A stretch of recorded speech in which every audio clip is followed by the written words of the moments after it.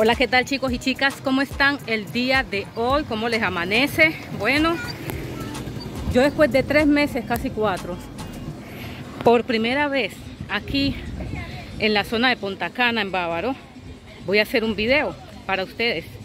Hoy vine con los compañeros de trabajo a la playa de Macao. Me dicen que es una playa espectacular, me dicen que es una playa muy bonita y pues lógicamente tenía que grabar.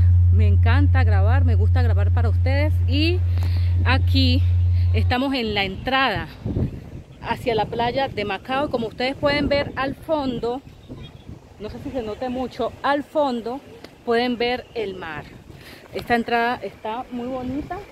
Eh, al fondo te podemos ver como un pasadizo de madera por allí.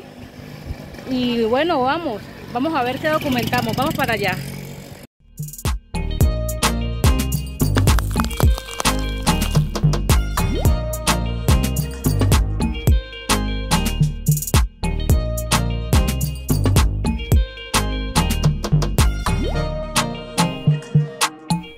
Aquí en esta zona cerca a la playa de Macao, miren qué caballo tan hermoso, precioso, miren qué bonito. Y al fondo, como siempre, las palmeras típicas aquí en la República Dominicana, chicos.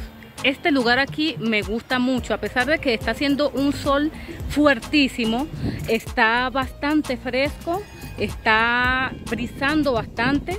Miren qué bonito para allá. Esos edificios así aquí en la República Dominicana me acuerdan mucho de Australia, de verdad que sí.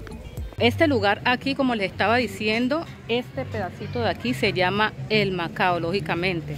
Tiene que ver con la playa y está muy bonito. Playa Macao está localizada en la parte norte de Bávaro, en la región este de la República Dominicana.